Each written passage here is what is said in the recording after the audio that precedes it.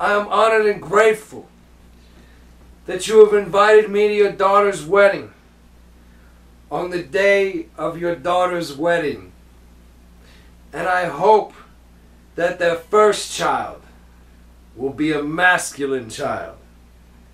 I pledge my ever ending loyalty. Tonight, The Godfather. The Godfather, motherfuckers! The Godfather.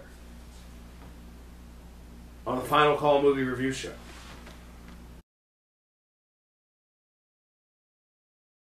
What's up, y'all? I'm Mason, and this is J Dub. and we are the Final Call Movie Review Show. Tonight we're reviewing The Godfather. The Godfather came out in 1972. It's directed by Francis Ford Coppola, and it is written by Mario Puzo, and Francis Ford Coppola helped helped him with the screenplay. And these guys, they killed it. They absolutely killed it. I mean, the direction in this movie is phenomenal. It stars it stars Marlon Brando and Al Pacino and James Caan. I mean, this movie is it's incredible. It's perfect from start to finish. There's no flaws in this film. It, you know, it might not be your cup of tea, but you you can't like find flaws in it. It's like the perfect film. Its direction is perfect. It goes from scene to scene to scene. Everything is exactly right. There's nothing out of place. It's it's perfect. I love it. How can you not like this movie? You got Don Corleone, you know, and he's running things, but everybody wants a little taste. Everybody wants some help.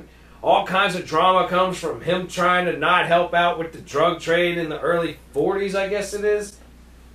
About that time. Yeah, yeah, it's about the It's 40s. like WW two times. Yeah, it's just after, it's probably 46, 48 maybe. Like it's after the war, because Michael comes home from the war. That's right. So,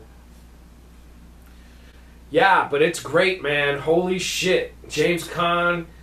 I mean, these people are amazing. This movie is amazing. I don't like. I don't want to sit here and like tell you all about it because it's fucking amazing. You should watch it. But Brando is just amazing. He's just he's Jesus. He reminds me of my Italian grandfather. Like for real. Like the the way that you carry he carries himself, the whole thing, man. Like this movie is as authentic as it gets, and it's fucking awesome. And I tell you, I stand by this statement. Apollonia is way cooler than Kay. But you gotta watch the movie to fully understand. And I stand by that statement, and I always will. Apollonia was a whole lot more fun than Kay ever was. And keep in mind that this is part of our holiday special. We're, what is it, uh, jolly as fuck around here. And you might say, hey man, The Godfather's not a fucking Christmas movie. The hell it's not.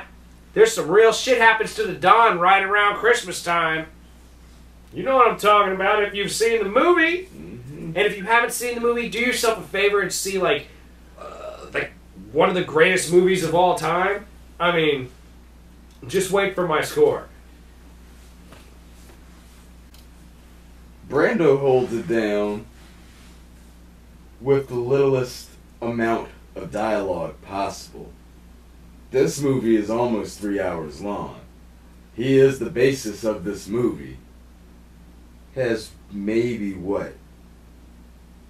Maybe 50 lines? I mean, he, he keeps it simple. He doesn't have to say much. Doesn't have to say much. He's definitely not verbose. and to not give much away, but there is a scene where he is up in a hospital bed and just the the emotion coming from his face, he didn't have to say anything. It's just Yeah, you felt it. yeah, You feel it. yeah. No subtitles, no nothing, no telepathy, no nothing. But another reason that this movie is so great is you have Pacino, you have James Caan, you have uh, Robert Duvall, and this was like the breeding ground of pretty much the greatest actors of our generation into the past generation. You you can't ask for more. It's definitely some of the best actors ever, and it's uh, it's like I said, it's just perfect. It- the way it's directed, the way that it that it goes. There's nothing wasted. There's no wasted scene in this movie. You're not sitting there like, oh man, we got to put up. Oh, this is a scene I always fast forward through. Like, you don't have anything like that. You don't skip anything. You don't go. I'm gonna go make a sandwich now or whatever. Like, it's all like, it's perfect. to put Godfather in the perfect sense, this would be a perfect example of often imitated but never duplicated. Can't be done.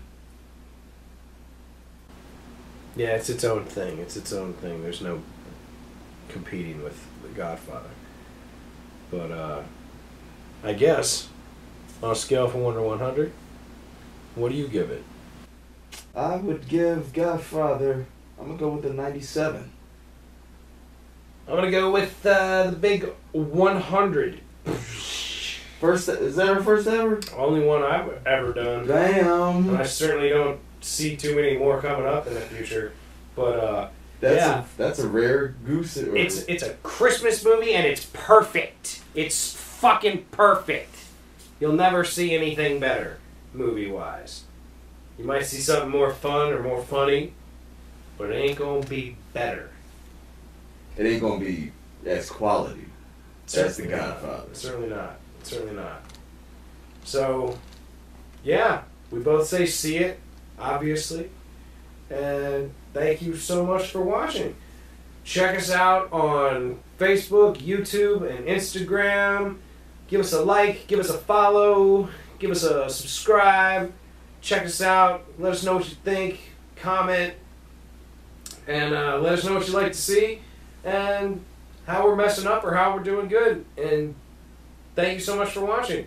And remember, if you're at the movie theater, shh. Enjoy.